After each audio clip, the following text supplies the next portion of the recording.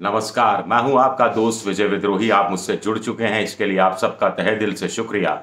और अगले आठ दस मिनट में आपसे जुड़े रहने की कोशिश करूँगा। तो राजस्थान का विधानसभा चुनाव इस बार बेहद रोचक, बेहद दिलचस्प, बड़ा खास होने जा रहा है। पहले मुकाबला किस पे हो रहा था? प्रधानमंत्री नरेंद्र मोदी और मुख्यमंत्री अशोक गहलोत पर। यह बात और है कि अशोक गहलोत को दो मोर्चों पर एक साथ जूझना पड़ रहा था या पड़ रहा है। और दूसरा मोर्चा सचिन पायलट का है। अब माना जा रहा है कि सचिन पायलट और अशोक गहलोत के बीच तो किसी तरह की सुलह हो जाएगी, लेकिन दोनों के ऊपर एक महिला प्रभावी हो जाएगी पॉलिटिकल रूप से। उधर बीजेपी में प्रधानमंत्री नरेंद्र मोदी, आला कमान और वसुंधरा राजे के बीच भी सब कुछ ठीक नहीं चल रहा था, लेकिन कहा जा रहा है कि वहाँ भी दोनों के बीच में सुलह हो जाएगी। लेकिन फिर वहाँ भी एक महिला को एक बहुत बड़ी प्रभावी भूमिका दी जाएगी। तो क्या बीजेपी की तरफ़ से एक महिला और कांग्रेस की तरफ़ से एक महिला, दोनों के बीच में दिलचस्प मुकाबला होगा? दोनों इलीट परिवार की हैं, खानदानी परिवार की हैं, अंग्रेज़ी अच्छा बोलती हैं, दोनों की राजनीति में गहरी गहरी जड़ें हैं गहरी गहरी पैठ है। बाप, दादा सब राजनीति करते रहे हैं दोनों पक्षों की। तो रहस्य नहीं है मैं किन की बात कर रहा हूँ। मैं मुख्यमंत्री दो बार रह चुकी वसुंधरा राजे की बात कर रहा हूँ और कांग्रेस की महासचिव प्रियंका गांधी की बात कर रहा हूँ। क्योंकि खबरें ये आ रही हैं कि कांग्रेस में प्रियंका गांधी को राजस्थान की कमान दी जा सकती है। हिमाचल की कमान उनको दी गई थी, हिमाचल का चुनाव निकाला। कर्नाटक में भी उनकी बड़ी भूमिका रही।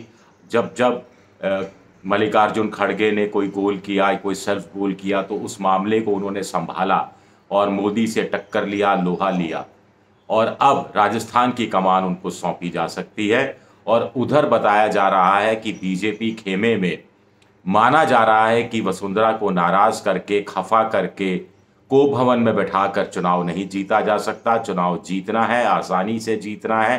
तो मुख्यमंत्री के रूप में दो बार पद संभाल चुकी वसुंधरा राजे, जो तीसरी बार मुख्यमंत्री बनना चाहती हैं, उनकी हसरत कुछ हद तक पूरी करनी होगी। उन्हें एक संचालन समिति या अभियान समिति का अध्यक्ष बनाना पर विचार चल रहा है, ताकि जिससे मैसेज क्लियर कट जाए कि अगर बीजेपी जीती तो मुख्यमंत्री पद की रेस में वसुंधरा राजे बहुत आगे हैं और उन्हें मुख्यमंत्री बनाया जा सकता है। तो इस रूप में अगर पद दिया जाता है तो राजस्थान में बीजेपी की कमान वसुंधरा राजे के हाथ में होगी। और अगर प्रियंका गांधी कमान संभाल लेती हैं राजस्थान की, उनको देने ना ले देने देने की तो कोई बात ही नहीं है, संभाल लेती हैं तो स्वाभाविक है कि सारी कमान प्रियंका गांधी के हाथ में होगी।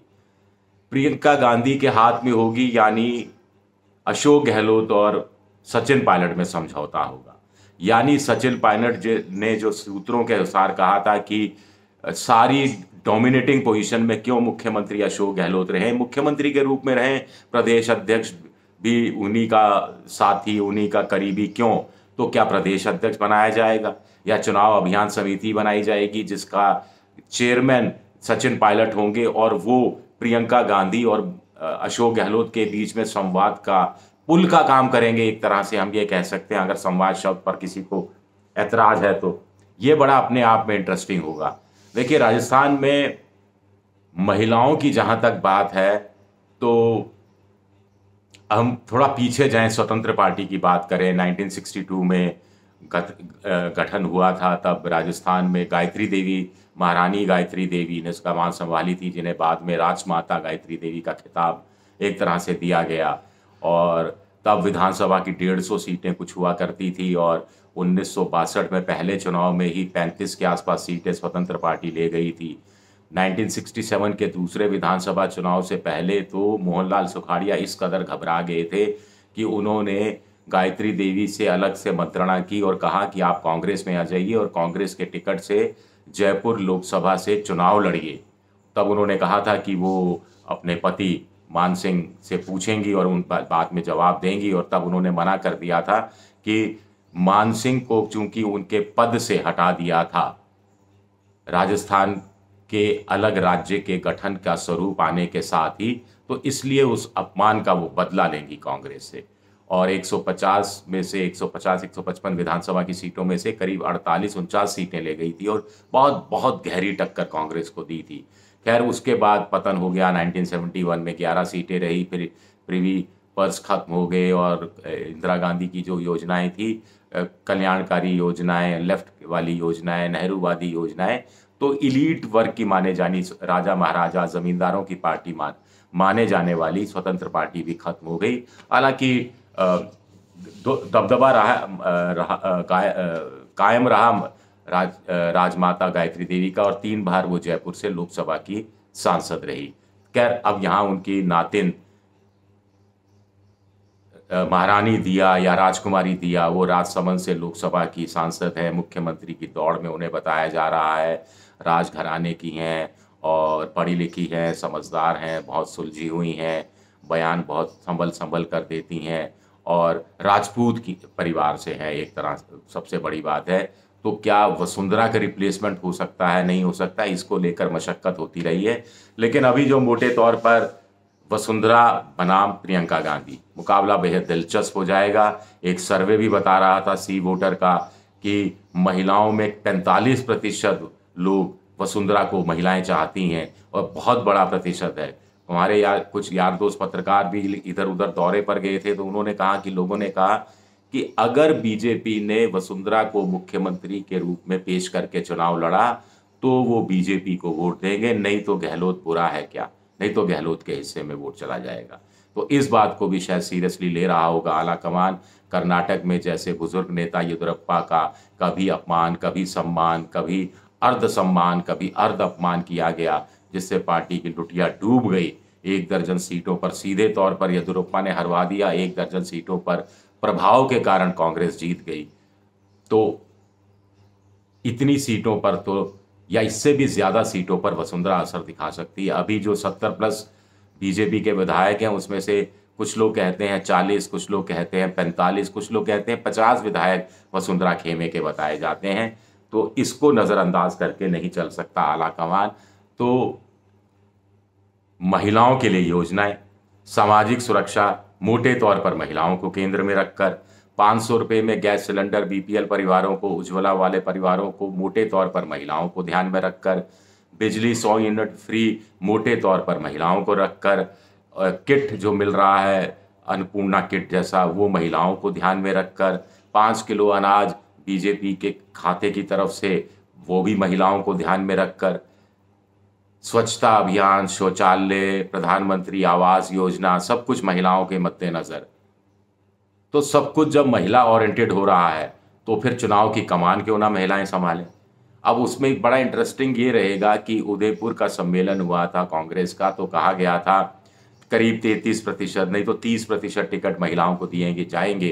कर्नाटक में 224 में से 11 महिलाओं को टिकट दिए गए। राजस्थान में प्रियंका क्या कुछ चेंज कर पाएगी या चेंज करना चाहिए भी नहीं चाहिए? कि महिलाओं को टिकट देना है, इसलिए सिर्फ़ महिलाओं को टिकट दे दिया जाए और चुनाव आप हार जाओ। ये भी नहीं होना चाहिए। फिर दूसरा एक व्यक्ति, एक पद, उसको, उस पर कितना अमल किया जाएगा? लड़की हूँ, लड़ सकती हूँ। ये नारा विपक्ष में रहते हुए तो चल सकता है।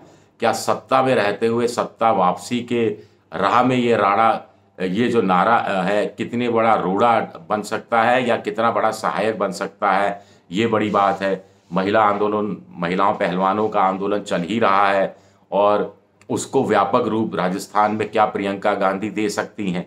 इस बहाने महिलाओं के अधिकार, महिलाओं के इश्यू महिलाओं की सुरक्षा, इन तमाम मुद्दों पर नए सिरे से बहस कराई जा सकती है कि मोदी सरकार कैसे महिलाओं की उपेक्षा करती रही है? बेटी बचाओ बेटी, पढ़ाओ के नारा अपनी जगह है, सिर्फ़ वोट के लिए है और ज़मीनी हकीकत कुछ और है।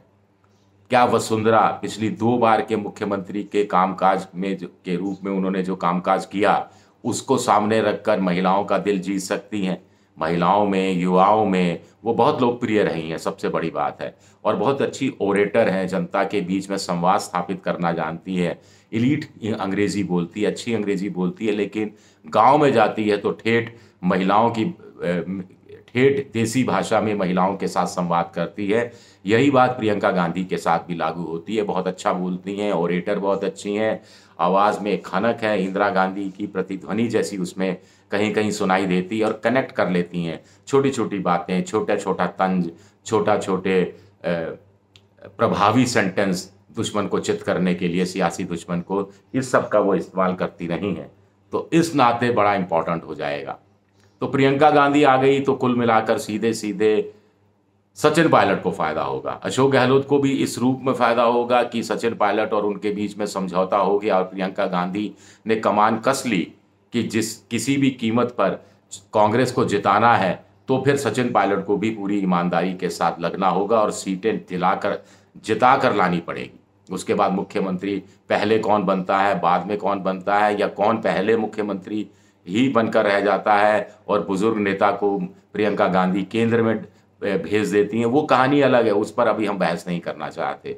इसी तरह वसुंधरा राजे पर ज़िम्मेदारी आई और उनको अगर चुनाव की पूरी कमान सौंपी गई और मुख्यमंत्री का चेहरे के रूप में पेश कर दिया गया तो फिर कांग्रेस के लिए दिक्कतें, प्रियंका गांधी के लिए दिक्कतें, राहुल, अशोक गहलोत के लिए दिक्कतें, क्योंकि वसुंधरा राजे, अकेला एक चुनाव अगर बीजेपी को हराने की क्षमता रखती है तो एक चुनाव भरपूर कंफर्ट लेवल के साथ बीजेपी को जिताने की भी क्षमता रखती है।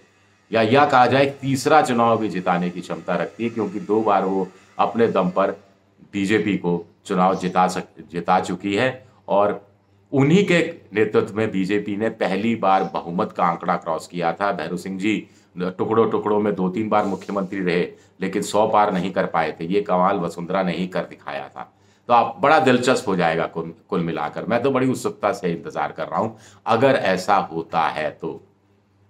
शुक्रिया मेरा ये वीडियो देखने के लिए। वीडियो पसंद आए तो लाइक कीजिए, सब्सक्राइब कीजिए, शेयर कीजिए और घंटी जैसी आकृति बेल आइकन दबा दीजिए ताकि नया वीडियो आए तो आपको तत्काल जानकारी मिल जाए। शुक्रिया बहुत बहुत शुक्रिया।